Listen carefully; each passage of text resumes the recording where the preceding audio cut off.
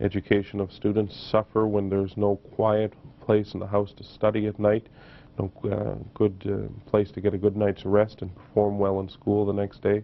We have sicknesses like tuberculosis that are wiped out in Canada everywhere except First Nation communities. And uh, I think that uh, uh, things like family violence and uh, situations like that can all be tied into housing.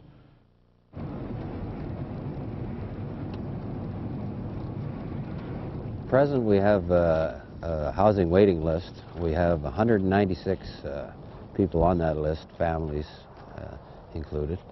Uh, right now we're constructing uh, on the average between 15 and 30 units per year uh, depending upon availability of funding. At the present rate uh, that we are constructing we'll never meet the demand. Um, we uh, came and did an inspection of this unit and uh, we found that the flooring in the unit was totally shot so we decided that we would do a renovation. Uh, we got in underneath and found the floor joists were rotting in it also. Uh, the cost of repairing and renovating this unit became so high that it was not feasible to repair it.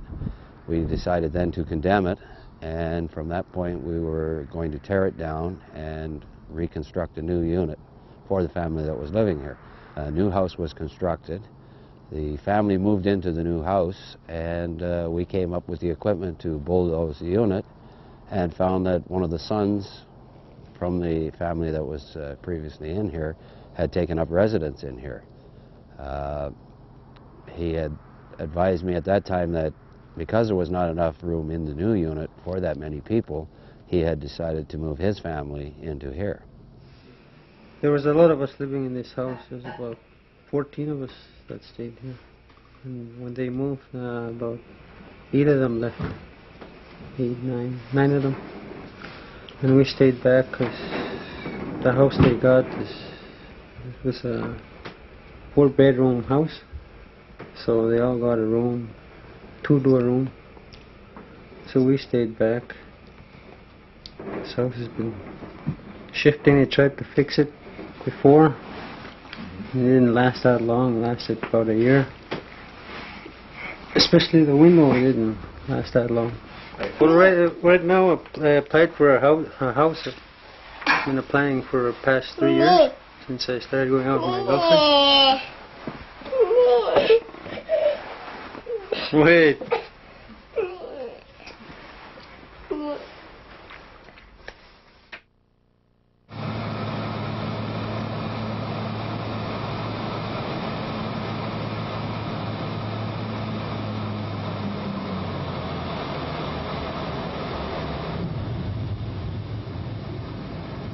As you can see, there's not much to see. This is my uh, my kitchen right here, and uh, over here is my living room. Well, it only took like two steps. Wait. As you can see, my door. I don't have a door, and my stove right here.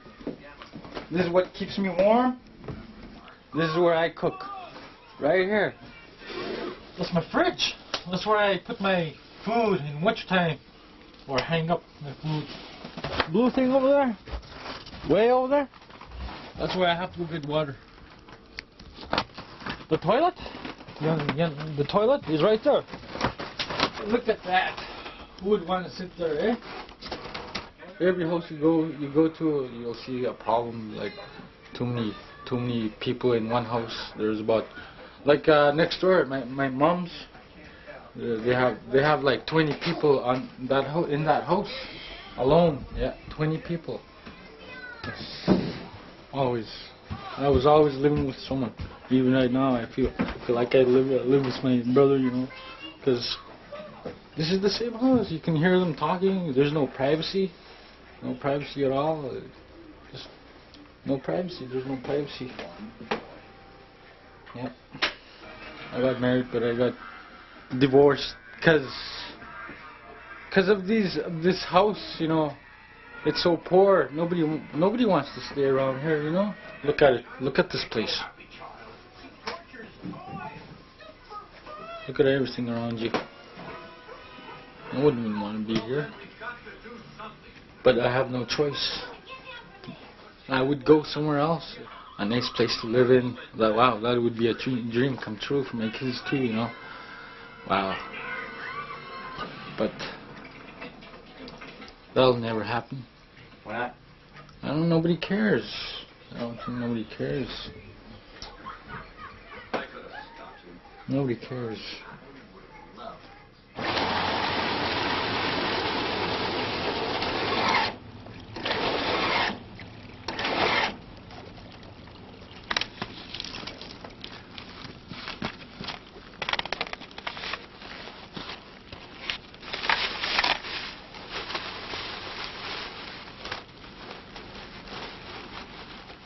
None of our houses here in this community ha- has have running water, and all of them, majority of them, at least um, I would say 99.8 percent of them are on uh, wood stoves, and yet we still have to face sicknesses like impetigo. You need to wash your hands clean your clothes, put the, put the baby in a bathtub. You can't do that when your house is 30 below. The biggest uh, numbers that we're looking at is the 16 year olds, the 17 year olds. That's the highest uh, population rate at this time. So they're going to be married, they're going to have kids, and they're going to have families. And the way it's going now, I mean, we're looking at about two, two families, two, three families per house. We don't know how we're, um, how or when we're going to adjust these uh, the funding rates. I mean, it's been ongoing since as far back as uh, 70s. Slightly north of Winnipeg. That's my home. This is Canada. And yet billions of dollars go to foreign aid. We need foreign aid here.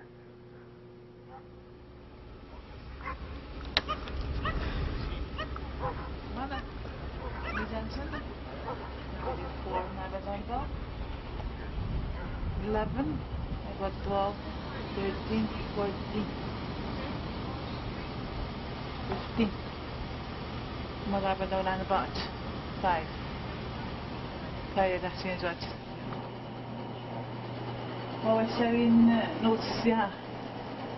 Mas o gamakche não onde chegou é haja fortin dessa aqui, né? Chegou a maior, não é? Chegou nos Chegou a nos caiga de essa plástico não precisa. Porque plástico tem que ser o papo, né?